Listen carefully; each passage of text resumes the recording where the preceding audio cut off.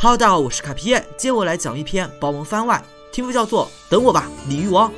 这天，一对爷孙在湖边钓鱼，钓鱼可是个耐心活，必须要一动不动地等待鱼上钩。这种略显枯燥过程，对于孩子而言，绝对是一种折磨。男孩于是拿着自己心爱的小笛子吹奏起来，悠扬的笛声传到了水下。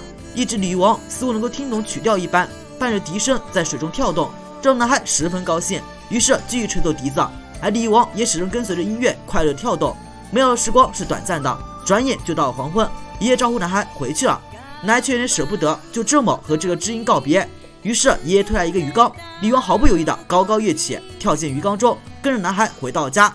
但是当男孩将鲤鱼王带回家的时候，男孩父母却不允许他养宠物。为了不让男孩伤心，善良的爷爷想了一个办法，他将鲤鱼王送到四翼屋，这样等到男孩长大后，估计鲤鱼王已经满级了。不过男孩无法接受和鲤鱼王的离别。哭着跑了出去，鲤鱼王也很不开心，在培育屋里看到大葱鸭的大葱，就想到少年的笛子，但是他无法离开水中，只能静静的等着男孩来接他。幸运的是，这个培育屋里有着很多擅长演奏宝梦，比如轰雷金刚仙、战弦荣元、音香衰等等。鲤鱼王于是在培育屋里等待着，等待着。过了一年又一年，周围的同伴相继被接走，但自己心中的那个男孩还是没有来。终于有一天，鲤鱼王看到一个熟悉的身影。他以为是男孩来了，但是却并不是。那个孩子只是来接自己的可达鸭的。鲤鱼王失望地沉入水中。也许他不会来了吧？他曾无数次问过月亮，但是没有人给过他答案。突然，鲤鱼王听到一阵熟悉的音律，没错，那正是他朝思暮想的笛声。男孩，他真的来了。